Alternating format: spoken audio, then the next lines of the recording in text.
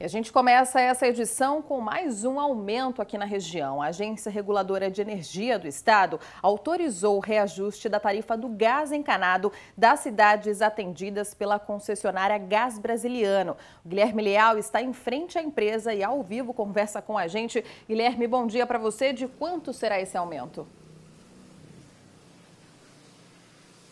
O aumento vai ser de 12,4%, Jéssica. Bom dia para você, bom dia para todo mundo. A gente lembra que esse tipo de gás é muito usado em cozinhas, para aquecer chuveiros, usado também em indústrias, restaurantes e até para abastecer veículos, né? Então, muita gente vai sentir esse reajuste que é autorizado uma vez por ano pela Arcesp, que é a agência reguladora de saneamento e energia aqui do estado de São Paulo, viu, Jéssica? O consumidor vai sentir de fato esse reajuste a partir do próximo mês, depois que a tarifa já estiver vigorando aí no novo valor. Agora, quem pode ficar tranquilo é aquele consumidor que usa até 5 metros cúbicos desse gás, né? Porque ele vai continuar pagando o valor de R$ 24,73. Ele vai passar ileso para esse reajuste. Já quem utiliza o GNV, quem usa esse gás no carro, vai ter um outro aumento, só que de 21 centavos aí aí por metro cúbico.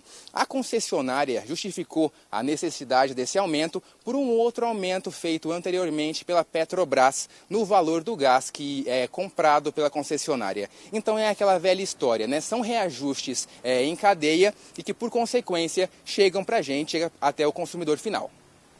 Tá certo, Guilherme. Obrigada pelas informações.